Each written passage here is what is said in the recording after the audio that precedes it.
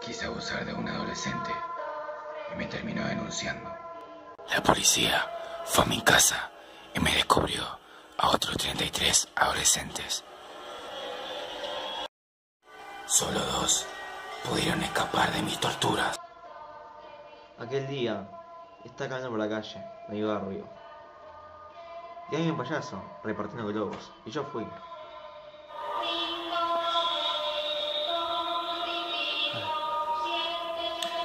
El payaso me dio un globo, y después él me dijo que si quería seguir a su casa.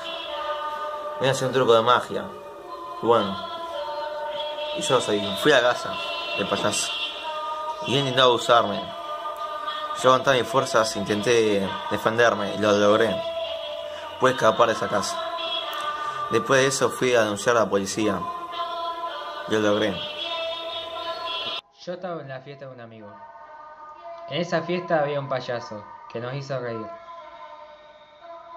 Ese mismo payaso me, me dio un globo. Y me dijo si podía seguirlo, si podía seguirlo a su casa, que me iba a dar caramelos. Y yo como todo ingenuo, lo seguí. Él me dio este mismo globo.